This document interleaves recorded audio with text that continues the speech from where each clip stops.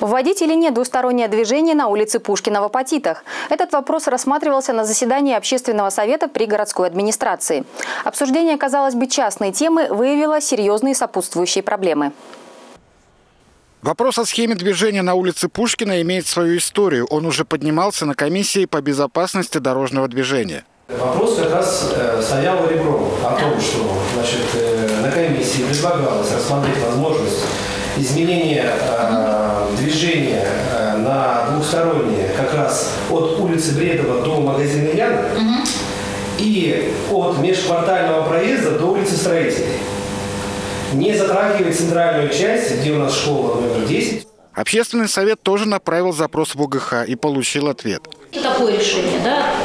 В силу транспортно-эксплуатационного состояния, э, там требуется ремонт этой дороги, э, этот вопрос отложен до выполнения ремонта для того, чтобы к нему вернуться, когда дорога будет в адекватном состоянии. Но наверху улицы Пушкина технических препятствий для двустороннего движения нет, а ремонт требуется в нижнем участке по направлению к строителей, и он не запланирован. Прошло 4 месяца, от УБХ пока мы не видим. Какие движения? Капитальный ремонт. Если капитальный ремонт, выходите на сессию, давайте закладывать деньги на поезды.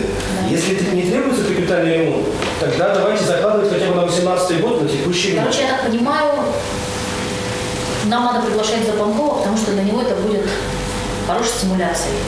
Вопрос для жителей района не праздный. Автомобилистам приходится делать большой крюк, чтобы выехать со дворов или попасть домой. Конечно, могут и покружить, но это загружает другие улицы. А главное, межквартальный проезд от Пушкина до Космонавтов, который и летом-то не самый широкий, а зимой еще больше сужается. Наши коллеги из Хибинформбюро провели опрос на эту тему.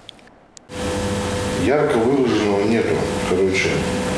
Да, нужно 48,2, нет, не нужно 51,8. Что, а что Кстати, в комментариях апатитчане предлагают вернуть двустороннее движение на улицу Зиновьева, где автомобилисты вынуждены ездить по дворам, а тротуары для пешеходов есть не у всех домов. Но вопрос по этой улице, видимо, дело будущего.